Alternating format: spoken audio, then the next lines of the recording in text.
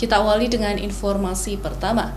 Saudara harga kedelai yang melonjak di tanah air hingga kini juga berdampak pada pengrajin tahu di kota Banda Aceh.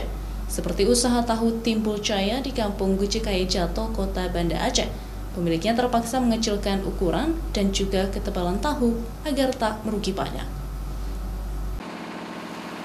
Mulizar, pengrajin tahu di kampung Gucikai Jato, Banda Aceh, mengaku harus memutar otak agar produksi tahu Timbul Jaya miliknya tetap berproduksi di tengah mahalnya harga kacang kedelai. Dirinya terpaksa mengecilkan ukuran dan ketebalan tahu agar tidak merugi, serta harus sedikit menaikkan harga jual. Biasanya per ember dijual seharga Rp110.000, kini dijual Rp120.000 per ember. Mulizar juga mengurangi jumlah produksi dari 600 kg bahan baku per hari menjadi 300 hingga 350 kg kedelai setiap harinya. Hal tersebut dilakukannya agar usaha tahu miliknya tetap dapat berproduksi setiap hari. Mulizar mengaku dirinya membeli bahan baku kedelai Rp11.500 per kilogram. Padahal saat kondisi normal, harga kedelai berkisar Rp7.800 per kilogramnya, sehingga berpengaruh terhadap jumlah produksi tahu yang diproduksinya.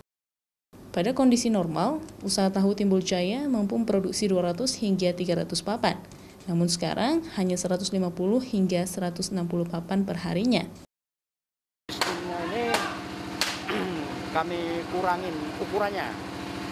Jadi dikurangi ukurannya, jadi bisa produksi terus seperti ini. Tentu untuk mempertahankan saja. Kalau harga stabil uh, harga stabilnya itu 7.800.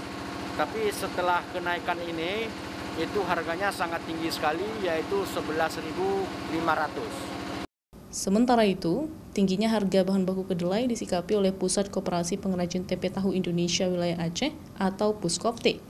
Puskopti Aceh mengaku, bahan baku kedelai di Aceh masih sangat tergantung dengan Medan Sumatera Utara, sehingga pihaknya sudah menyampaikan keluhan dari para pengrajin tahu ke kementerian terkait agar mencari solusi dari mahalnya harga kedelai saat ini. Uh, bahan baku sementara Aceh masih tergantung dengan Medan, karena di Aceh untuk saat ini belum adanya uh, bahan baku yang uh, mempunyai wilayah kerja yang apa uh, tetap gitu. Jadi semua perajin tahu tempe yang ada di wilayah Aceh mengambil bahan bakunya di Medan.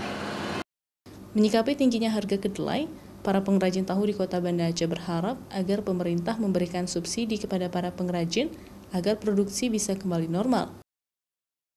Mustajab Kompas TV Banda Aceh